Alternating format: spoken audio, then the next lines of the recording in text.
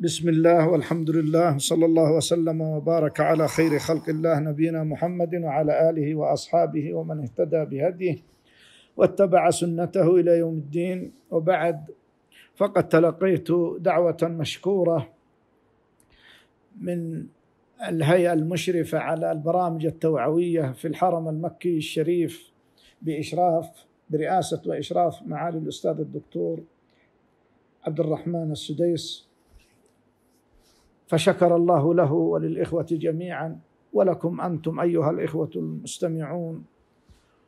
وبارك الله في جهود الجميع.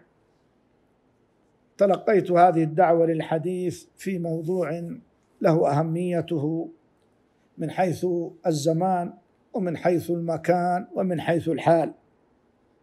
هذا الموضوع عنوانه أحكام الحج في ظل الجائحة. والمراد بالجائحة هنا ما نزل بالناس من المسلمين وغيرهم من هذا الوباء والذي وصفته الهيئات الصحية المحلية والعالمية بالوباء ووصفته بالجائحة وهو ما يعرف بمرض ووباء كورونا. هذا المرض المعدي والذي انتشر في بقاع العالم وله تحولات. والله سبحانه وتعالى نسأل أن يرفع البلاء والوباء ويرفع الأذى يلطف بنا وبالناس جميعا. ومن حرص دولتنا المباركة وحكومتنا الرشيدة وفقهم الله جميعا لكل خير وأعانهم على كل بر. أن حرصوا على الجمع بين تحقيق المقاصد الشرعية بإقامة الشعائر في الحرمين الشريفين وفي غيرهما من بيوت الله جل وعلا وفي الأماكن الشعائر المقدسة. وهذه الشعيرة العظيمة الحج وكذا العمرة وكذا الاعتكاف وكذا غير ذلك من الشعائر الإسلامية.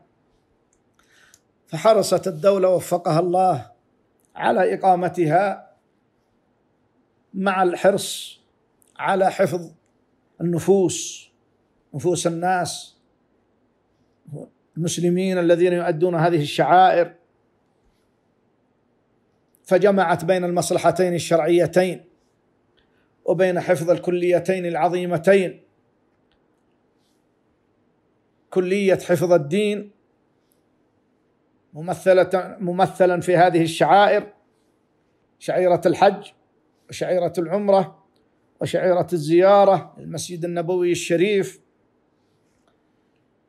وشعيرة الصلاة في الحرمين الشريفين والاعتكاف وكذا في بيوت الله جل وعلا منتشرة على ثرى هذه البلاد المباركة. فحرصت الدولة وفقها الله على إقامة الشعائر على حفظ كلية الدين بإقامة شعائره مع الحفظ على النفوس مع تحقيق حفظ الكلية الثانية وهي حفظ النفس التي تأتي في الترتيب الكلي بعد حفظ الدين. وأما في النظر إلى الجزئيات فقد تقدم الكلية النفسية كلية حفظ النفس أو كلية حفظ جزئية من أجزائها في باب الضرورات على حفظ جزئية في كلية الدين إذا كانت من باب الحاجيات أو من باب الضروريات ولكنها في جزئية فإن كلية حفظ النفس تقدم على الجزئية في حفظ الدين. ومن هنا شرع للمريض الإفطار في نهار رمضان. وشرع للمريض العاجز عن القيام بالصلاة على وجهها الأصلي الصحيح بأركانها وواجباتها وشروطها. شرع له التخفف من بعض الأركان ومن بعض الواجبات ومن بعض الشروط من أجل حفظ نفسه. صل قائما فإن جاء في الحديث الصحيح. صل قائما فإن لم تستطع فقاعدا فإن لم تستطع فعلى جنب. شرع التيمم بدلا للطهارة بالماء. إذا لم يستطع استعمال الماء لمرض من جرح ونحوه. وهكذا الإفطار في للمريض وللعاجز. بحسب أحوال المرض شدة وخفة واستمرارا وإزالة وعرضا أو عارضا إلى آخره. وهذا ولله الحمد من يسر هذه الشريعة المباركة من رحمة الله جل وعلا. ما جعل عليكم في الدين من حرج. فإن مع العسر يسرا إن مع العسر يسرا. يريد الله بكم اليسر ولا يريد بكم العسر. وقد جاءت قد جاء هذا التذييل في هذه الآية بعد ذكر الأعذار للصائمين الأحوال التي تعرض للصائم من مرض أو سفر ونحو ذلك. وفي تك... آية آية الحج قال جل وعلا لمن استطاع إليه سبيلا من استطاع إليه سبيلا. وقال الله جل وعلا فاتقوا الله ما استطعتم هذا حكم عام ومبدأ كلي.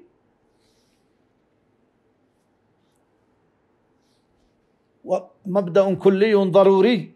يشمل جميع التشريعات جميع العبادات. الظاهرة والباطنة. كقوله جل وعلا أيضا لا يكلف الله نفسا إلا وسعها.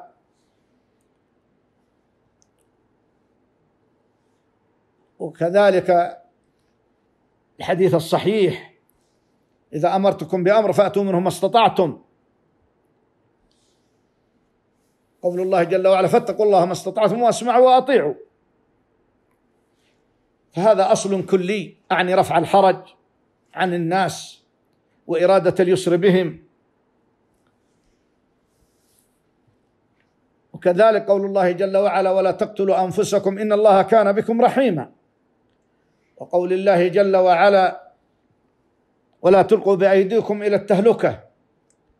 والنصوص في هذا قطعية كلية.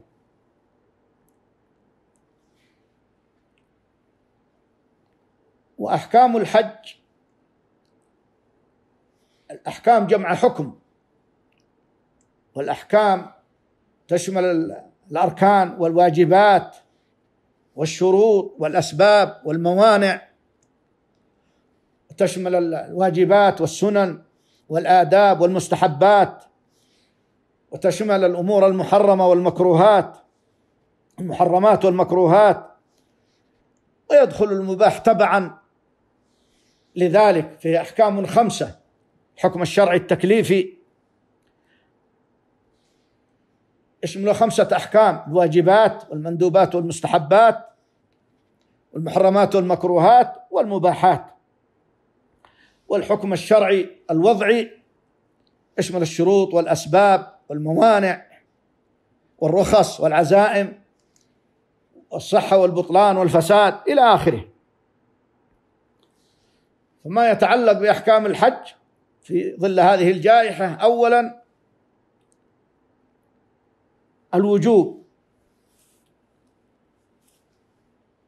فالحج لا يجب إلا على المستطيع.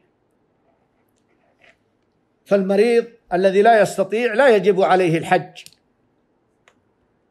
والاستطاعة هنا إما أن تتعلق ببدنه من حيث المرض.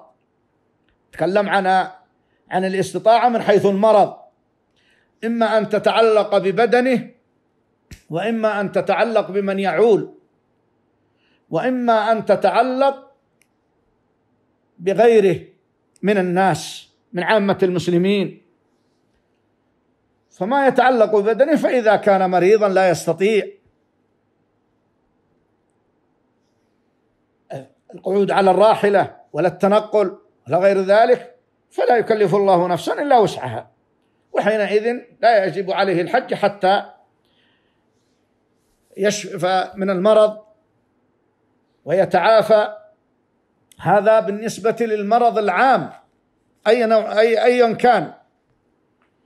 أما المرض المعدي وهذا الذي يتعلق بمن يعول وبغيره أيضا من عامة المسلمين فلا يجوز له حتى لو كان هو قادرا على أداء المناسك مع مرضه. فإذا كان المرض معديا كهذه الجائحة فلا يجوز له ويحرم عليه إذا أخفى شيئا من ذلك. إذا أخفى الأمراض المعدية سواء هذا المرض أم أم غيره. يحرم عليه ذلك ويكون آثما ويكون متسببا في إلحاق الضرر بالآخرين ويكون محاسبا على ذلك في الدنيا وفي الأخرى. ولهذا يجب على على كل من رغب في الحج أن يقوم بالإجراءات الصحية. والاحترازات الوقائية التطعيم والتحصين والمسحة التي تكشف وجود المرض ووجود الفيروس في بدنه. ولا ويحرم عليه أن يخفي أن يخفي شيئا من ذلك. وهكذا يسقط عنه الحج ولا يجوز له حتى لو قدر في بد من من حيث القدرة البدنية إذا كان المرض معديا وينتقل إلى غيره. حتى ولو لم تظهر عليه أعراض المرض. فإذا كان سليما وابدى أوضح كل المسائل المطلوبه المسائل الصحية والإجراءات الصحية والأسباب الصحية أوضحها كلها منه. وبينها للجهات المختصة. وأذنت له جاز له ذلك. فإذا أذنت له بشروط وقائية واحترازية وجب عليه أن يلتزم بها من التباعد والجسدي وكذلك تغطية الأنف والفم بالكمامة حتى لو كان في الإحرام. يجب عليه فعل ذا يجب عليه فعل ذلك. وهل يفدي أو لا يفدي؟ هذا هذه مسألة أخرى وحكم آخر جزئي. يسأل عنه في حينه. لكن لا يجوز له أن يهمل ويغفل وأن يغفل الاحترازات الصحية والإجراءات الوقائية من الكمامة وغيرها من الإجراءات. حتى لو تعارض وكذلك التباعد حتى لو تعارضت مع بعض الأحكام الجزئية التي تلك الأحكام التي مبنية على الوضع الطبيعي العادي. فإن المسائل التي لها عوارض ولها أحوال لها أحكام خاصة تخصها يجب الالتزام بها. فإذا ما أذن له والتزم بالشروط التي وجبت عليه. وحتى الأمور الوقائية الاحترازية التي إرشادية ينبغي له أن يلتزم بها. لأن من الأمور من الاحترازات الوقائية. ومن الأمور الوقائية والإجراءات الوقائية ما هو محل لزوم يعني يلزم عليه على كل حاج. ذكرا كان أم أنثى صغيرا كان أم كبيرا أن يلتزم بها. هذه محل وجوب يسأل عنها ويأثم بتركها. ويسأل عنها في الدنيا وفي الأخرى. وما كان من الأمور الإرشادية التي هي نصائح فينبغي له أن يلتزم بها حسب حكمها. إن كان إلزاما وإن كان إرشادا.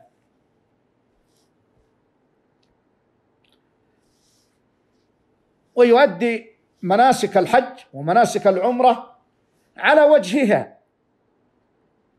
إذا كان الوجه الأصلي لا يتعارض مع الإجراءات الوقائية والاحترازية الصحية.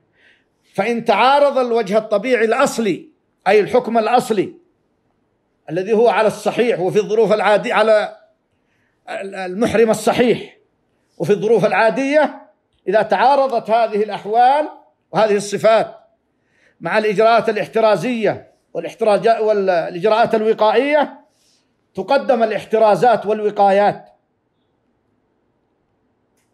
ويفعل ما يستطيع مع المحاف من الأحكام مع المحافظة على الاحترازات والوقايات الإجراءات الوقائية والاحترازية الصحية. فإذا وقع في خلل وفي نقص فيسأل أهل العلم هل يجبر هذا النقص؟ هل يلزمه أن أن أن يجبره ويجبره؟ هذا على حسب أجبر أو جبر. أما الالتزام فلا بد منه لكن هل فيه فداء أو فيه كفارة أو لا يلزمه شيء هذا يسأل عنه أهل العلم في حينها. وأما الالتزام بالإجراءات فإن فيجب عليه ذلك ويفعل النسك الذي في الحال الذي يستطيعه مع المحافظة على الإجراءات الوقائية والاحترازية. فإذا كان مثلا من الإجراءات الاحترازية لا يستلم الحجر فلا يستلمه لا يستلم بعض أركان البيت العظيم العتيق فلا فلا يجوز له ذلك. والمندوبات تسقط والواجبات يقوم بها حسب استطاعته ويجبر الخلل. ويجبر الخلل بحسب ما يفتى به في حينه.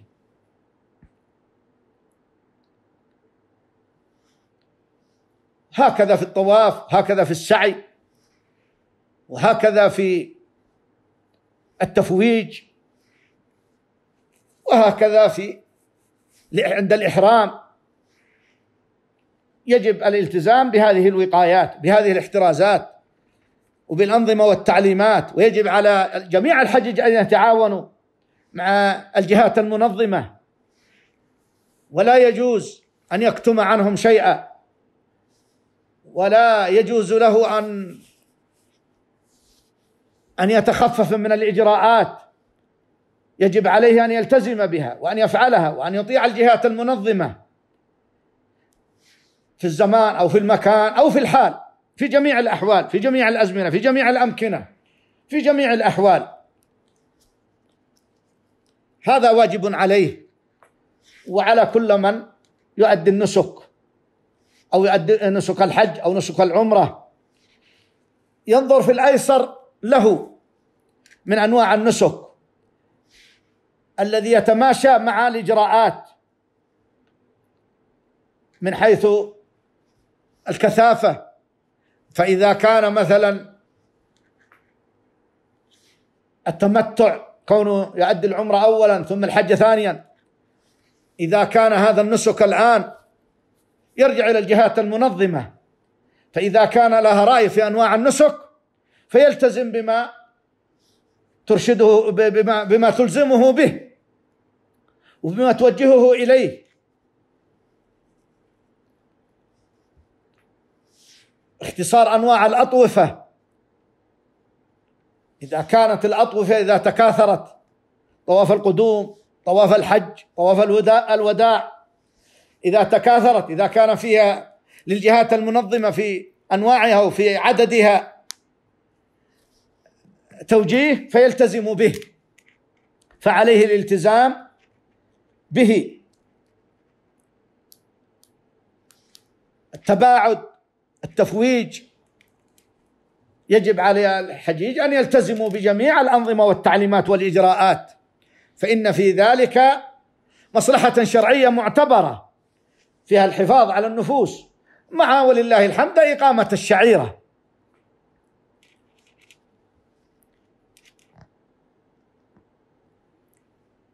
هذا واجب يجب أن يتنبه لذلك. وهكذا من مسائل الذبح. الهدي مثلا يلتزم بالإجراءات المنظمة لذلك. والحمد لله الإجراءات فيها تيسير وفيها ترتيب وفيها تحقيق للشعائر للشعيرة العظيمة وللشعائر العظيمة وفيها محافظة على النفوس. فيجب الالتزام بذلك. تعاون مع الجهات المنظمة. هكذا في أثناء السيارات في أثناء الإحرام. مما ينبغي أيضا أن ينبه له في من احكام وهو مما يتعلق بأحكام الحج في ظل هذه الجائحة الاشتراط. يمكن أن يشترط الحاج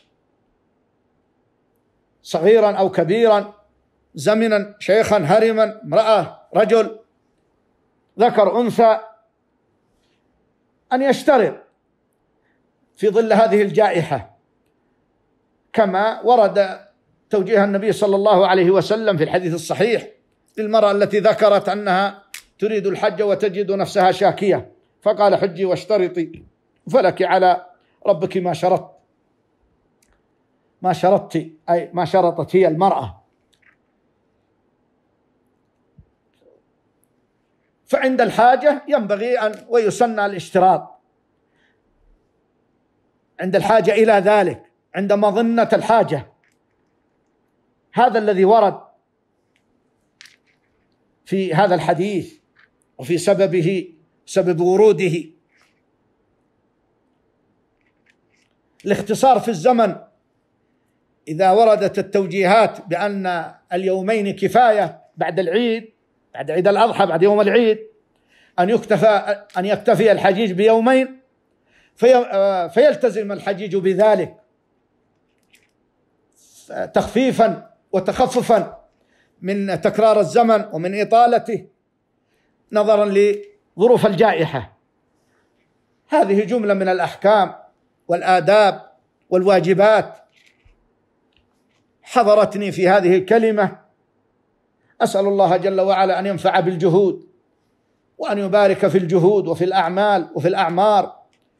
أسأل الله جل وعلا أن يجزي دولتنا خير الجزاء بقيادة خادم الحرمين الشريفين بقيادة خادم الحرمين الشريفين. سمو ولي عهده يجزيهما خيرا. وأن يجزي جميع المسؤولين كل خير. على ما يقدمون من خدمة للحجيج وللمعتمرين وللزائرين. وأسأل الله أن ينفع بالجهود. وأن يجزي العاملين في الصحة وفي الأمن. وفي غيرهما من القطاعات التي تقوم على خدمة الحجيج والمعتمرين والزائرين. أن يجزي الجميع خير الجزاء. وأن يوفقهم لما يحبه ويرضاه. وأن يوفق الحجيج. وأن يحفظ الجميع. وأن يرزق الجميع التعاون على البر والتقوى. مرة أخرى أشكر لرئاسة الحرم أن أن دعتني لإلقاء هذه الكلمة. ووجهت لي الدعوة. لإلقاء هذه الكلمة.